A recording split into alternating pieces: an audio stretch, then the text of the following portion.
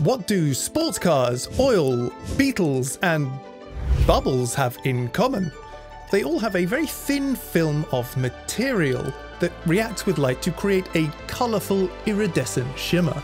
Blender 4.2 now has this material property built into the principled BSDF shader for cycles, with two values, thickness, this is the film's thickness in nanometers, and IOR, or index of refraction. So to create our bubble, we want a base color of white, roughness of 0, an IOR of 1 as it's just air inside, and also our transmission at 1.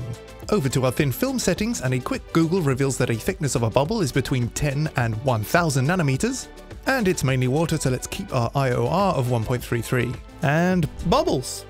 Now being a cycles only effect, it can be susceptible to that dreaded sample noise. However, have no fear because one of our most recent YouTube videos is here.